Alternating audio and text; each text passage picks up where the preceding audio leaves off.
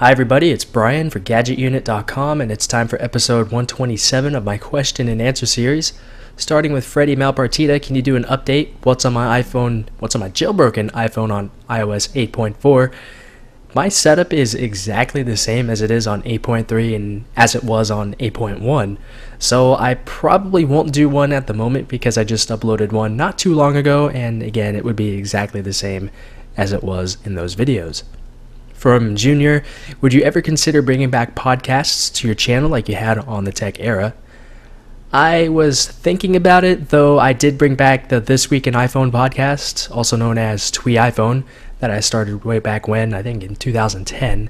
And I'm also doing a theme park podcast called Behind the Parks, which you can check out at behindtheparks.com. So for the time being, I probably won't do a dedicated one for this channel, although I might bring recordings of those over to this channel like I did with some of the Tech Era ones where it was showing a fixed background as well as the usual podcast audio.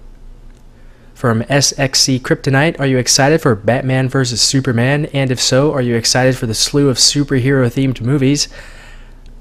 I can't say that I'm excited for these things because I just I've just never really been interested in superheroes or those types of things.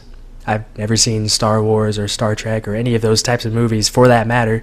So I'm just.